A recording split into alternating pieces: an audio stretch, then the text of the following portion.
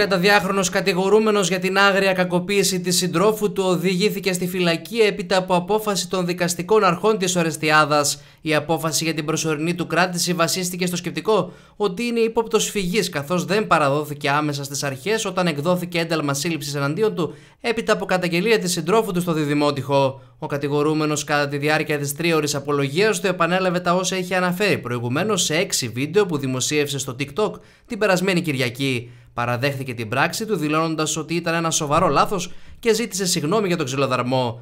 Ναι, την έδιρα πάρα πολύ. Δεν είναι ψέματα. Τη χτύπησα. Αλλά ο μόνος λόγος που τη χτύπησα τόσο πολύ ήταν όταν είπε ότι θα πει ψέματα στην αστυνομία ότι βίασα την κόρη μου. Γι' αυτό το θέμα τη χτύπησα, ανέφερε χαρακτηριστικά ο κατηγορούμενος.